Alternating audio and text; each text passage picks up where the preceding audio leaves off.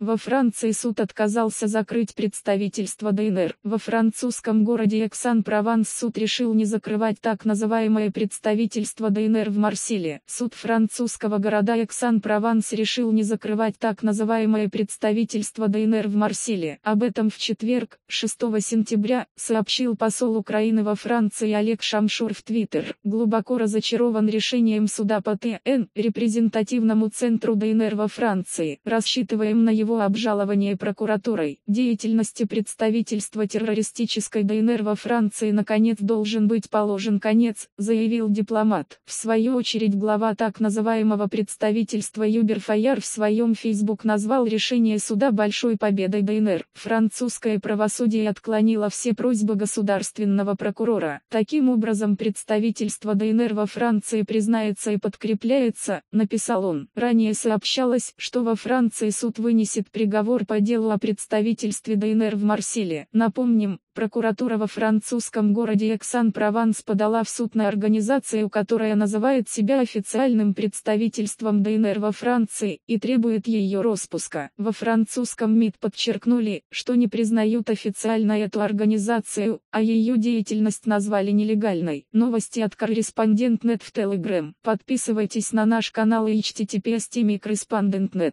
По материалам сайта Newsgro.com.